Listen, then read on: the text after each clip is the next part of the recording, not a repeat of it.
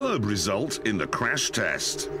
So let's move on, shall we, and do the pendulum test.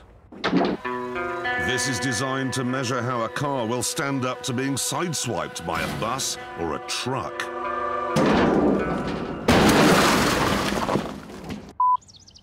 Frankly, it was hard to see how we could possibly pass this, but then James came up with a plan. Right, we need a camera. Uh, yeah. A plan that would fool even the most astute EU bureaucrat. Action. Wow! Wow! Wow! Pendulum. Toi cool! All right. So, now our car is going to face the fearsome pendulum test. Ooh, oh. Wow! Wow! Wow! Wow, indeed. Another pass.